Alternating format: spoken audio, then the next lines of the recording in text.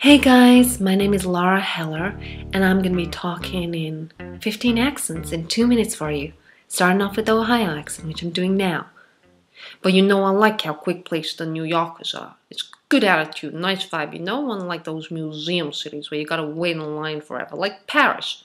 Too slow. Ouf, mais Paris, j'adore, tu sais.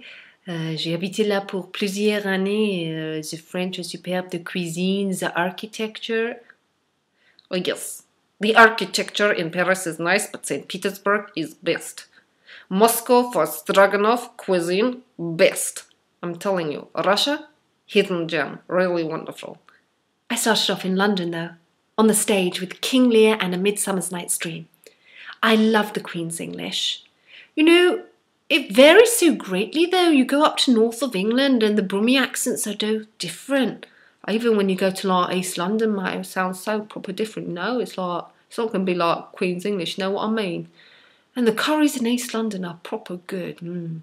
But the problem is you cannot get a good vindaloo in London anymore. It is really difficult. I really want to find good chapati and homemade Indian cooking. And it rains too much as well in England. You think it rains too much there? You should try Ireland. You know, I could do with a little bit more sun actually.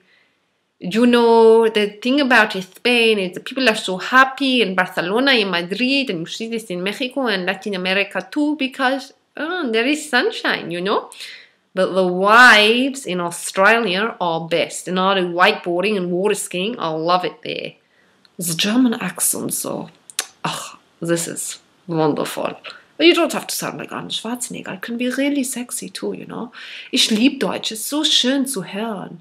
But the Iranians are much softer when they speak. The Middle Easterns are خیلی زیبان. زبونش خیلی نازه, نه?